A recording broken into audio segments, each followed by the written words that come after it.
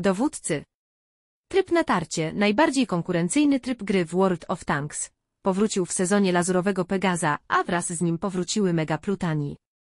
Nowy sezon natarcia jest pierwszym w trwającym cały rok cyklu trzech sezonów i daje szansę na miłe nagrody, wśród których znajdziecie nowy pojazd X poziomu Huragan Polski czołg średni z niesamowitym stylem 3D oraz unikalną załogą.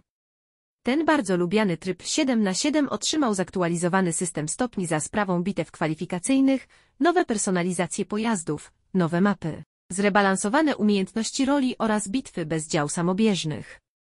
Zanim zanurzycie się w ekscytujące starcia, zaglądnijcie do przewodnika po wszystkim, co powinniście wiedzieć i zmierzcie się z potężną drużyną Stream Team. Przewodnik P o sezonie lazurowego Pegaza. Transmisja z Mega Plutonem. Włączcie naszą specjalną transmisję z natarcia 15 wrzesień o 18 CEST, gdzie znajdziecie dodatkowe podpowiedzi i triki od Keyhanda, którego możecie znać z serii przewodników po mapach. Keyhand wezwał do siebie sześciu zaufanych twórców zawartości World of Tanks, aby stworzyć Mega Pluton i walczyć przeciwko widzom.